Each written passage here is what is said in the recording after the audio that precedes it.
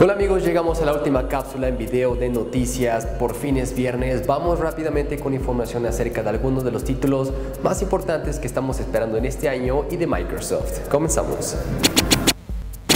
Microsoft apuesta seriamente con todo a Kinect en lo que resta del año.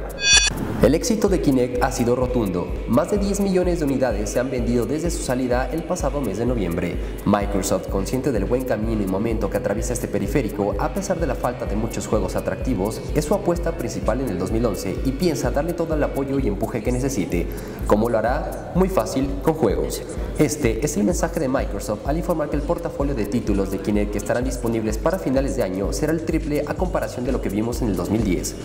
Una vez que esta información se ha dado a entonces podemos esperar muchos y grandes anuncios durante su conferencia que se llevará a cabo el próximo 6 de junio por la mañana. Atomics estará ahí cubriendo este evento y trayéndote toda la información al respecto.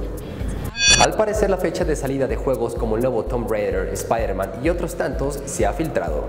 Gracias a un supuesto documento que se filtró proveniente de la compañía distribuidora de juegos en los Estados Unidos, GameStop, podríamos saber por anticipado cuándo saldrán algunos de los títulos más importantes, entre ellos el nuevo Metal Gear que tiene a Raiden como protagonista.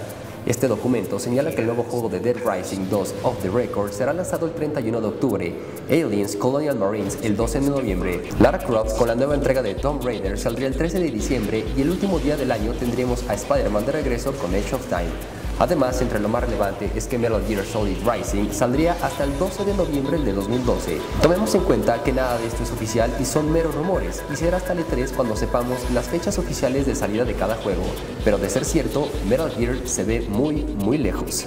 Bien amigos, hasta aquí yo con la información de este viernes, que tengan excelente fin de semana y nos estamos viendo.